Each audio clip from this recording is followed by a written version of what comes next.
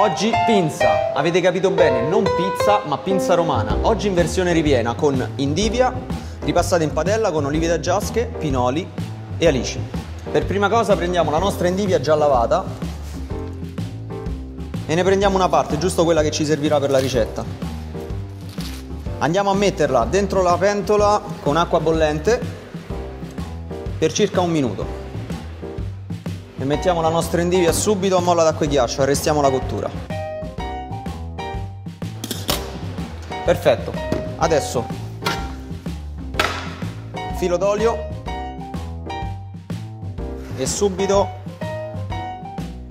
qualche alicetta, facciamola sciogliere nell'olio.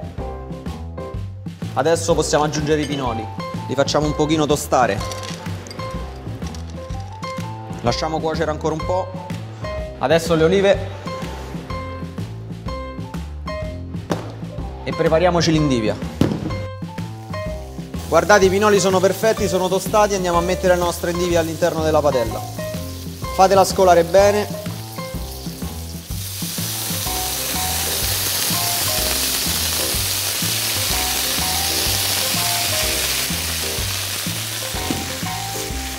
L'indivia è pronta, andiamo a metterla in una ciotola.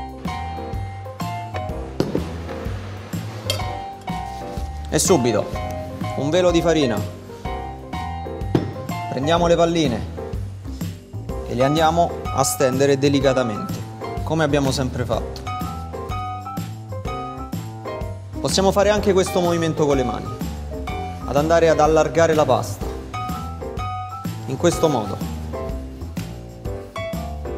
Come avete notato abbiamo preparato due palline, la prima l'ho stesa ed è la nostra base, mentre quest'altra, che è un po' più piccolina, è il coperchio. Andiamo a stendere anche il coperchio.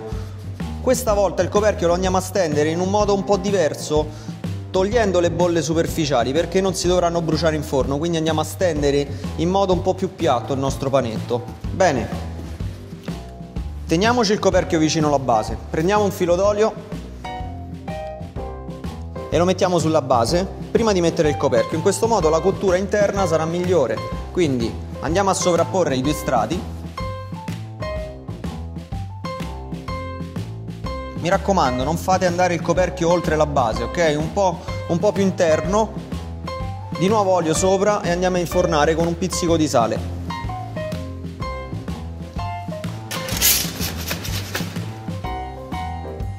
Cuociamo diamo un'occhiata alla pinza che mi sembra pronta. Perfetto quando raggiunge questo colore la possiamo tirare fuori dal forno. Guardate bene. Adesso un passaggio fondamentale da fare a questo punto è aprirla immediatamente, guardate quanto vapore esce fuori.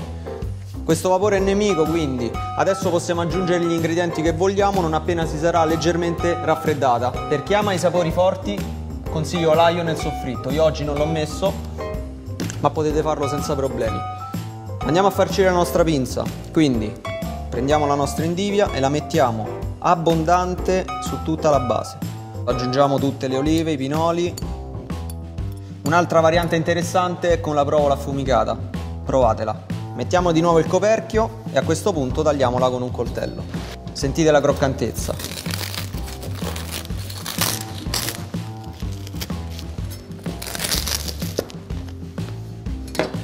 Impiattiamo e aggiungiamo un filo d'olio. Così avrà un bel aspetto lucente e invitante. Ecco qua. Possiamo aggiungere anche un pizzico di sale. Ecco qui, la nostra pinza è pronta.